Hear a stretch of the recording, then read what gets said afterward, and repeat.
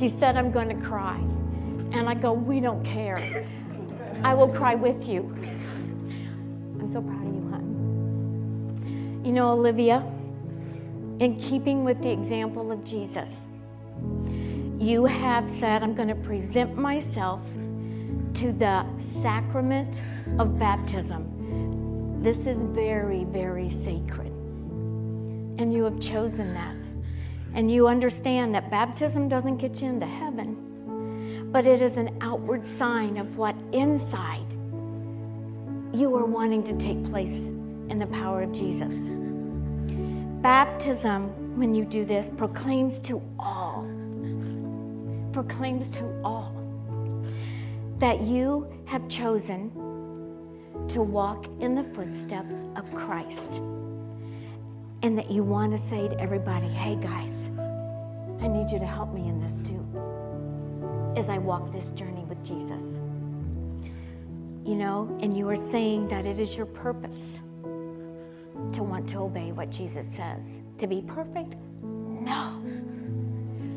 But to say, God, I'm trying in my walk with you.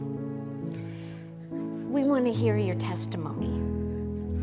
Because when we hear it as a family, as a community, we can celebrate your life in Christ.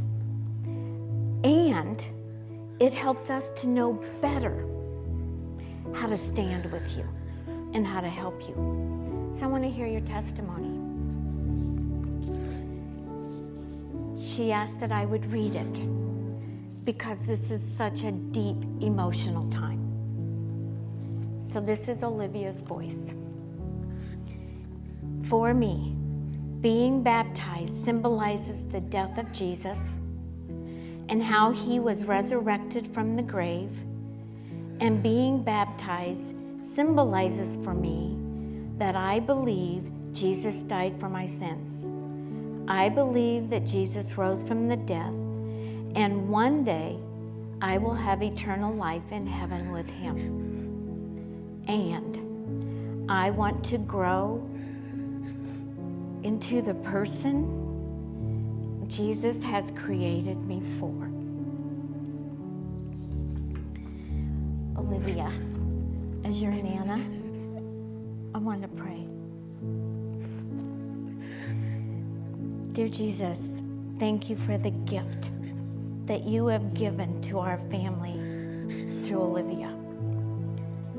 But more importantly, Lord, thank you for the work you are doing in her life and that it is so important to her that all the emotions come. Jesus, we thank you for Olivia, for the act of baptism, for a church family that will walk with her.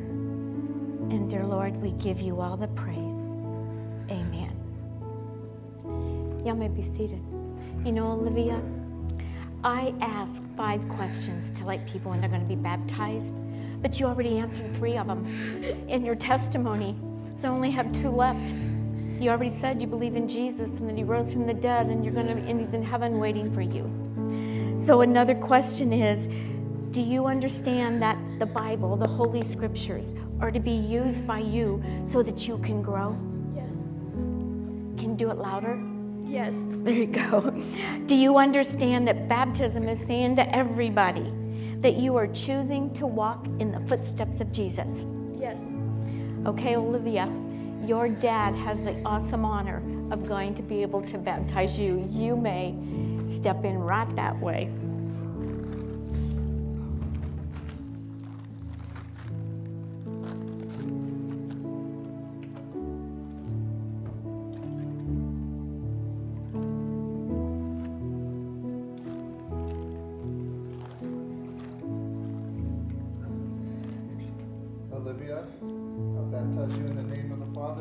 Son, and Holy Spirit.